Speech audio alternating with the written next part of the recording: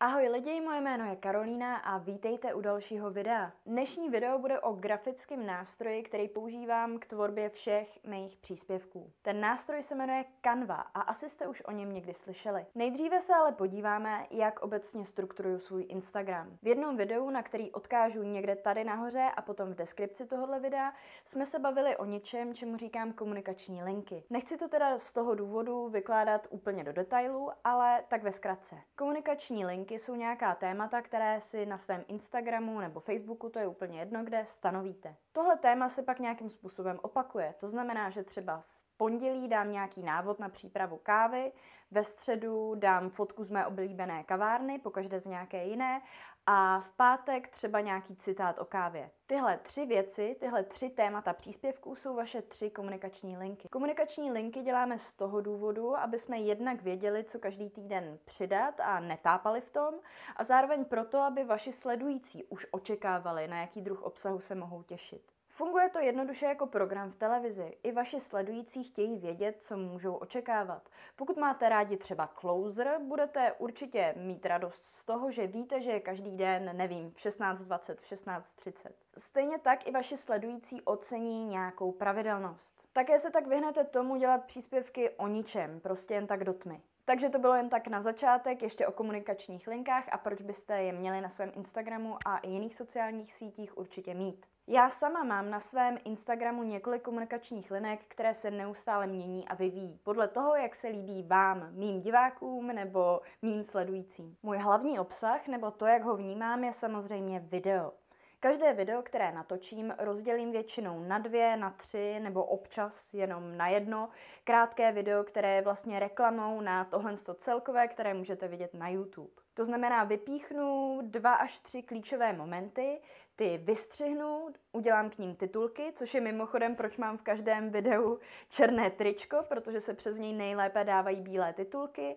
A tyhle krátká videa s nějakou upoutavkou na konci, myslím, že to mám celé video, můžete vidět na YouTube, dám na Instagram. Takže to je jeden z druhů obsahu, které, který vlastně na tom Instagramu mám. To je můj hlavní klíčový content, klíčový obsah, zejména kvůli mně, ne kvůli vám a to je proto, že jednoduše tohle dělám strašně ráda. Ráda mluvím ve videu a nenaplňuje mě tolik dělat ty příspěvky. Další typ příspěvku je nějaká reklama, která se mi zalíbila a chci ji nějakým způsobem okomentovat. K tomu asi není co dalšího říct. V tomhle videu si i ukážeme, kde tyhle reklamy beru, ale to až za chvilku. Třetí druh příspěvku je karusel, to znamená takový ten kolotoč fotek, může jich být od jedné až, no, od dvou spíš až do desíti.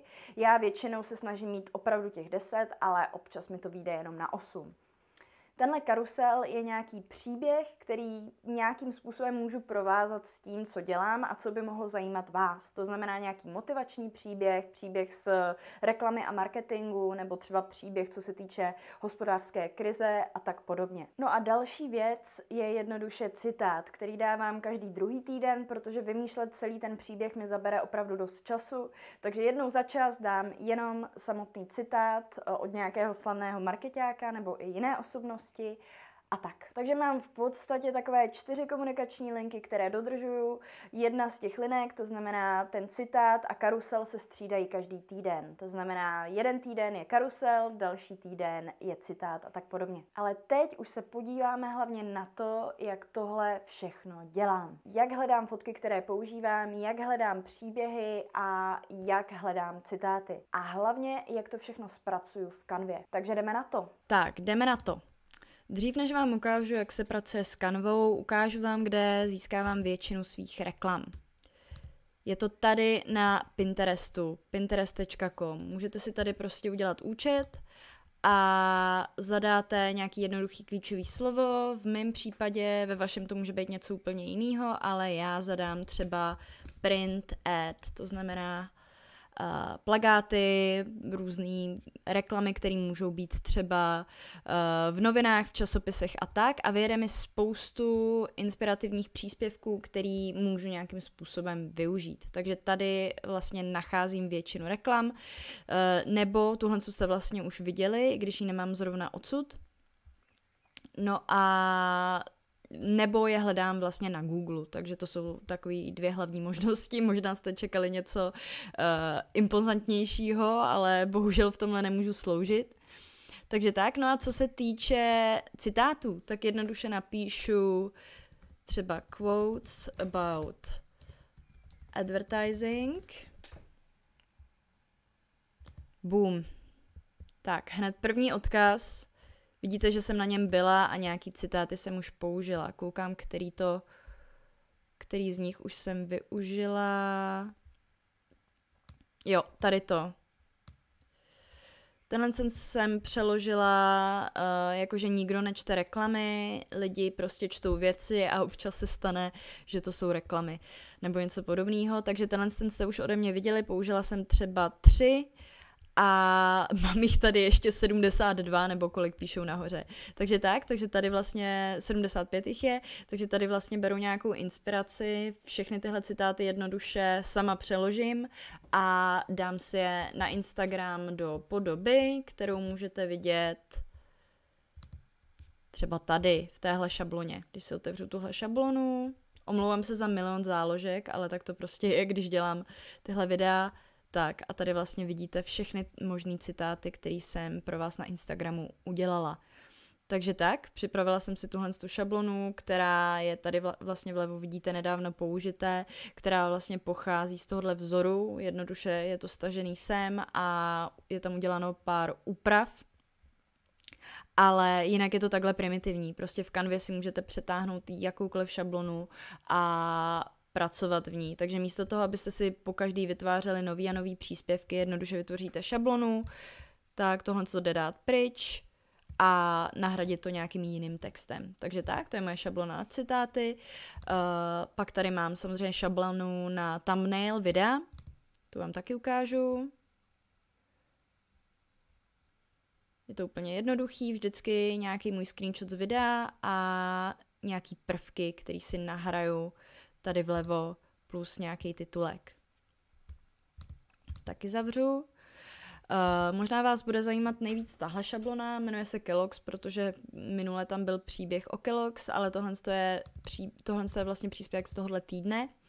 A tady je to úplně to samé. Mám nahráno několik prostě obrázků, několik šablon a do těch jednoduše vkládám uh, fotky, text, tak podobně. A takhle vytvářím vlastně všechny svoje karusely. Pak stačí jenom tady vpravo nahoře dát stáhnout, vyberete si, jestli chcete všechny stránky nebo třeba jenom jednu a stáhnete si to do počítače.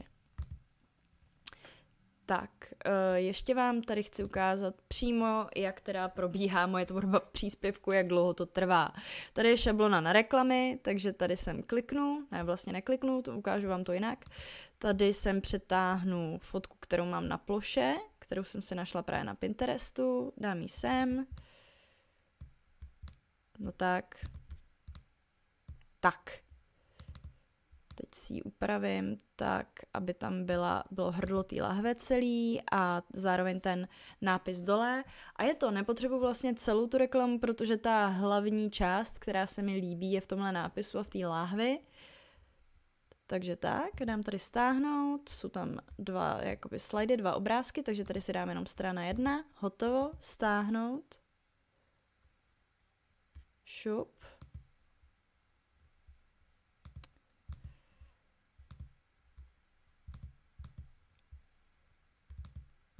Teď se s tím trošku poperu tady, tak. Hodím to sem na plochu a je to a jsme s tím hotoví. Takže takhle jednoduchý je vlastně pro mě, když si vytvořím nějaký šablony na jednotlivý příspěvky, tak jednoduchý je vlastně uh, vytvořit příspěvek nový každý týden. Ale vraťme se, ta, takhle to bude jednodušší, vraťme, vraťme se sem zpátky. Řeknu vám něco k té kanvě, je to jednoduše právě stránka canva.com, je to úplně zadarmo, takže sem přijdete, canva.com, založíte si účet, jak vidíte, ten mám tady vlevo nahoře, eh, dáte si, že chcete verzi zdarma, předpokládám, můžete si samozřejmě dát i placenou, ale v mém případě je to verze zdarma, protože jsem tu placenou ještě na nic nepotřebovala. A tady dáte vytvořit návrh, a můžete si vlastně vybrat úplně cokoliv, jakýkoliv druh příspěvku. My dáme příspěvek na Instagramu třeba, protože to je náš případ, o to se teďka pokoušíme. A vyberete si prostě jednoduše tady, co se vám líbí. Dejme tomu, že tohle to bude váš druh příspěvku. Tak. A tady si jednoduše můžete vzít text a můžete si ho tady nahoře změnit na něco jiného. Já se omlouvám, zrovna jako můj internet ve chvíli, kdy dělám tenhle příspěvek, se rozhodl stávkovat. To bude pravděpodobně kvůli tomu, že jsme v karanténě a mám tady víc členů rodiny. Nicméně tady si dáte třeba tohle písmo a máte to změněný. A tady, kde máme tohle z toho fešáka, to můžeme vymazat a místo toho to můžete ze svých nahraných fotek dát něco jiného, třeba tohle, jo, a upravit si to prostě podle svých požadavků. Takže takhle jednoduchý je upravovat věci v kanvě. Jednoduše nahrazujete ty fotky z šablon a dáváte tam vlastní věci. Třeba tady v prvcích, když se podíváte do toho sloupečku vlevo,